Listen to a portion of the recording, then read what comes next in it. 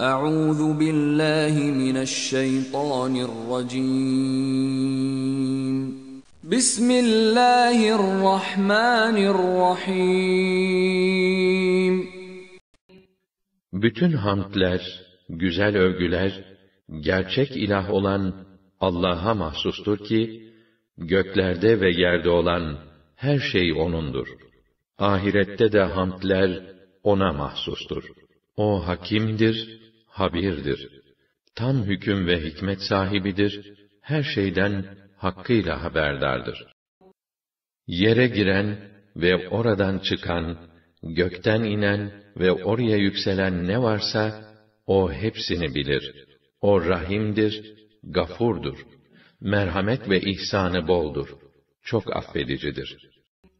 Kafirler, başımıza gelecek kıyamet, dirilme ve duruşma diye bir şey yok diye iddia ettiler. De ki, hayır, Rabbim hakkı için o gelecektir. O gaybları bilen öyle bir zattır ki, onun ilminden göklerde ve yerde zerre miktarı bir şey bile kaçamaz.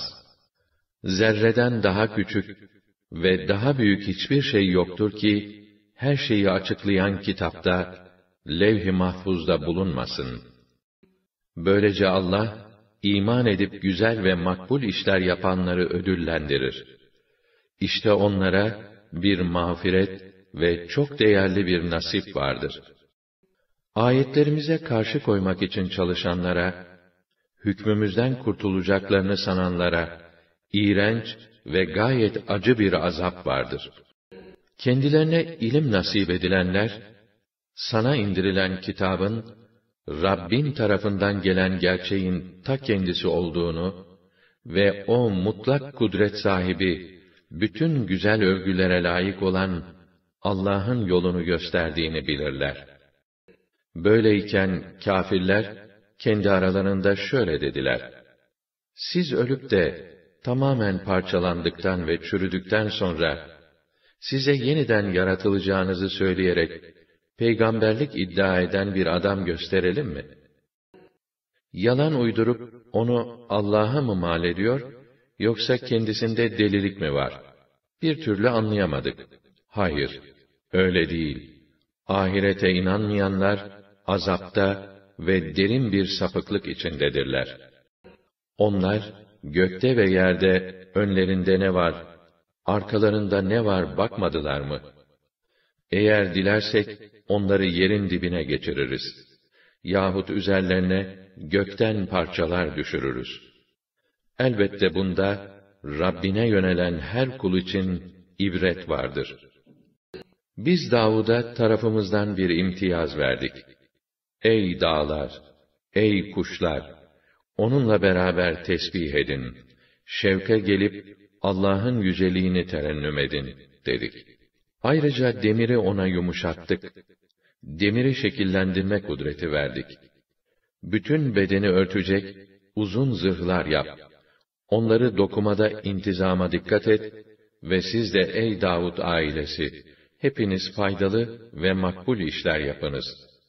Çünkü ben yaptıklarınızı görüyorum buyurduk. Biz Davud'a tarafımızdan bir imtiyaz verdik. Ey dağlar, ey kuşlar! Onunla beraber tesbih edin. Şevke gelip Allah'ın yüceliğini terennüm edin, dedik. Ayrıca demiri ona yumuşattık. Demiri şekillendirme kudreti verdik. Bütün bedeni örtecek uzun zırhlar yap. Onları dokumada intizama dikkat et ve siz de ey Davud ailesi, hepiniz faydalı ve makbul işler yapınız. Çünkü ben yaptıklarınızı görüyorum buyurduk. Süleyman'ın emrine de rüzgarı verdik. Onun sabah gidişi bir aylık mesafe, akşam dönüşü de bir aylık mesafeydi. Onun istifadesi için erimiş bakırı kaynağından sel gibi akıttık. Rabbinin izniyle cinlerden bir kısmı onun önünde çalışırlardı. Onlardan kim emrimizden saparsa ona ateş azabı tattırırdık. O cinler ona kaleler, heykeller, havuz büyüklüğünde çanak ve leğenler, sabit kazanlar gibi istediği şeyleri yaparlardı. Ey Davud hanedanı! Şükür gayreti içinde olun. Kullarımdan gereği gibi şükredenler çok azdır. Süleyman'ın ölüm fermanını çıkarmamızdan sonra, cinler ve çevresindekiler, onun öldüğünü, ancak dayandığı asasını bir ağaç kurdunun yemesi sonucunda, kendisinin yere yıkılmasından sonra anlayabildiler. O, yere düşünce, cinler kesin olarak anladılar ki, şayet gaybı bilmiş olsalardı, kendilerini zelil ve perişan eden angarya işlerde devam edip gitmezlerdi. Gerçekten Sebe halkına oturdukları diyarda bir ibret dersi vardı. Onların meskenleri sağdan soldan iki bahçe ile çevriliydi. Peygamberleri kendilerine dedi ki, Allah'ın nimetlerinden yiyiniz, içiniz, ona şükrediniz. Ne hoş bir diyar, ne iyi, ne müsamahalı ve bağışlayıcı bir Rab. Fakat onlar, bu davete sırtlarını döndüler. Biz de onların üzerlerine, kükremiş, hırçın mı hırçın, bentleri yıkan bir sel gönderdik. O güzelim bahçelerini, içinde sadece buruk yemişli, ılgınlık, biraz da dikeni çok, meyvesi az ağaçlardan ibaret, bozulmuş bahçelere çevirdik. Biz, inkar ve nankörlükleri sebebiyle onları, böylece cezalandırdık. Zaten nankörlükte çok ileri gidenden başkasını cezalandırır mıyız? Onların diyarlarıyla, feyz ve bereket verdiğimiz kutlu beldeler arasında sırt sırta vermiş, biri birinden görülebilen nice kasabalar var ettik ve bunlar arasında düzenli ulaşım imkanları sağladık. Oralarda geceler ve gündüzler boyunca güven içinde gezin dolaşın dedik. Fakat onlar, Ya Rabbena, seferlerimizin arasını uzaklaştır, diye dua ettiler ve böylece kendilerine yazık ettiler. Biz de onları, dillere destan olan, hayret ve ibretle bahsedilen masal haline getirdik. Başka yerlere göç etmeleri suretiyle, darmadağın ettik. Bunda elbette, çok sabırlı, çok şükürlü olan kimselerin alacakları, hayli ibretler vardır. Hakikaten iblis, onlar hakkındaki zan ve temennisini gerçekleştirdi muradına erdi. Müminlerden bir kısmı hariç, onun peşine düştüler. Aslında şeytanın onlar üzerinde bir sultası, zorlayıcı gücü yoktu. Ancak ahirete iman edeni, o konuda şüphe eden kimselerden ayırt edip, ortaya çıkaralım diye, ona bu fırsatı verdik. Rabbin her şeyi hakkıyla gözetlemektedir. De ki, Allah'tan başka tanrılığını iddia ettiğiniz şeylere istediğiniz kadar yalvarıp durun bakalım. Ele ne geçireceksiniz? Onların ne göklerde ne yerde size verecekleri zerre kadar bir fayda yoktur. Onların oralarda en ufak bir ortaklıkları yoktur. Allah'ın onlardan bir yardımcısı da yoktur. Allah'ın huzurunda onun izin verdiğinden başkasının şefaatleri fayda vermez. Nihayet, o kıyamet saati dehşetinden duydukları korku gelince, o dirilenler birbirlerine, Rabbimiz neye hükmetti diye sorarlar. Ötekiler, hak ve adalet neyi gerektiriyorsa, o hükmü verdi derler. O yüceler yücesi, büyükler büyüğüdür.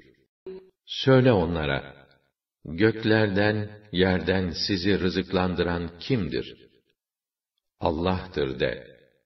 O halde ya biz veya siz ikimizden biri doğru yol üzerinde veya besbelli bir sapıklıktayız.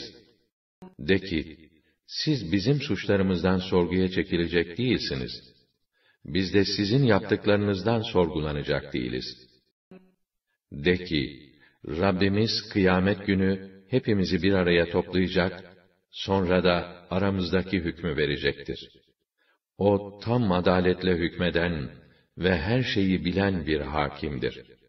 De ki, ona ortak saydıklarınızı bana gösterin bakayım. Hayır, öyle şey yok. Doğrusu şu ki, Allah, aziz ve hakimdir. Mutlak galip olup, tam hüküm ve hikmet sahibidir. Ey Resulüm! Biz seni, bütün insanlığa rahmetimizin müjdecisi, azabımızın uyarıcısı olarak gönderdik. Lakin insanların ekserisi bunu bilmezler.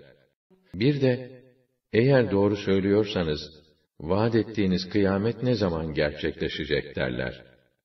De ki, sizinle öyle bir buluşma günümüz var ki, ondan ne bir saat ileri geçebilirsiniz, ne de bir saat geri kalabilirsiniz. Bir de, eğer doğru söylüyorsanız, vaat ettiğiniz kıyamet ne zaman gerçekleşecek derler.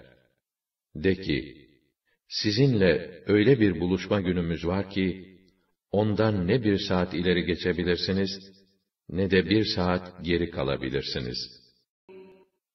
Kafirler, biz ne bu Kur'an'a ne de bundan öncekilere inanırız derler.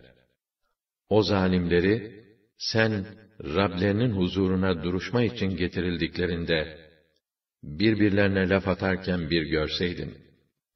Zebun edilen, dünyada güçsüz bırakılanlar, o kibirli olan önderlerine, ah! Sizin yüzünüzden bu hallere düştük. Siz olmasaydınız, biz de iman edecektik, diyecekler. Te yandan, dünyadayken kibirlenenler, o zebun edilenlere, ezilenlere, size hidayet geldikten sonra, biz mi sizi ondan uzaklaştırdık? Bilakis, siz zaten suçlu kimselerdiniz. Ezilenler de kibirlilere, hayır, işiniz gücünüz gece gündüz dolap. Siz daima Allah'a nankörlük etmemizi, ona bir takım şerikler uydurmamızı bizden isterdiniz, derler. Ve böyle atışırlarken, hepsi, azabı gördükleri o esnada, pişmanlıklarını içlerine atarlar. O inkarcıların boyunlarına, ateşten demir halkalar takarız. Bu, yaptıklarının adil bir karşılığı değil midir? Uyarmak üzere peygamber gönderdiğimiz hiçbir belde yoktur ki, onların ileri gelen, varlıklı ve şımarık olanları, biz sizinle gönderilen şeyleri reddediyoruz. Bunu böyle bilesiniz, demiş olmasınlar. Ve ilave ettiler, bizim malımız da, evladımız da, sizinkinden daha fazla, sizden daha güçlüyüz. Biz öyle iddia ettiğiniz gibi azaba falan da uğrayacak değiliz. De ki, Rabbim dilediği kimsenin nasibini bollaştırır, dilediğinin nasibini kısar. Ama insanların ekserisi bu gerçeği bilmezler. Bizim nezdimizde size değer kazandıran şey, mallarınızın veya evlatlarınızın çokluğu değildir. Şu var ki, iman edip, güzel ve makbul işler yapanlara, bu gayretlerinden ötürü kat kat mükafat verilecek ve onlar cennetin yüksek köşklerinde güven ve huzur içinde olacaklardır. Ayetlerimize karşı koymak için peygamberlerimizle mücadele edenler ve elimizden kaçıp kurtulacaklarını zannedenler ise zorla getirilip azabın içine atılacaklardır. De ki, Rabbim dilediği kimsenin nasibini bollaştırır, dilediğinin nasibini de kısar. Siz hayır yolunda her ne harcarsanız, Allah onun yerini doldurur. O rızık verenlerin en hayırlısıdır. Gün gelecek, hepsini mahşerde toplayacak, sonra da melaikeye, şunlar size mi tapıyorlardı diye soracaktır. Onlar, müşriklerin iddialarından seni tenzih ederiz. Bizim dostumuz, koruyucumuz onlar değil, sadece sensin. Hayır, onlar bize değil, cinlere tapıyor ve ekserisi onlara inanıyorlardı, diye cevap verirler. İşte bugün kiminiz kiminize fayda veya zarar vermeye güç yetiremezsiniz. O kâfirlere de diyeceğiz ki, yalan saydığınız o ateş azabını tadında, yalan mıymış, gerçek miymiş, söyleyin bakalım. Kendilerine parlak deliller halinde ayetlerimiz okunduğunda, o zalimler, bu başka değil, sırf sizi atalarınızın ibadet ettiği tanrılarınızdan uzaklaştırmak isteyen bir adam, dediler. Ve yine dediler ki, bu Kur'an başka değil, sırf bir iftira. Ve yine kâfirler, gerçek kendilerine geldiğinde, bu besbelli bir büyüden başka bir şey değil, dediler. Kendilerinden, Mekke müşriklerinden, öncekiler de hakkı yalan saymışlardı.